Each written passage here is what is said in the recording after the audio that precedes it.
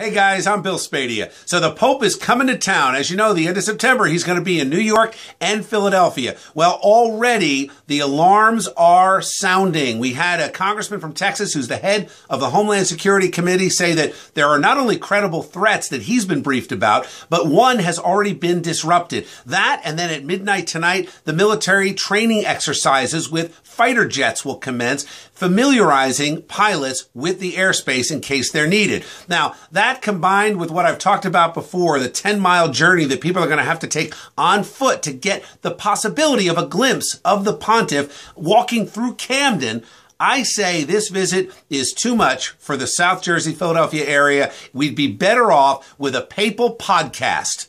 That's my New Jersey. What's yours? Let me know on Twitter at NJ1015 and at Bill Spadea. And of course, let's continue this conversation on the web, NJ1015.com.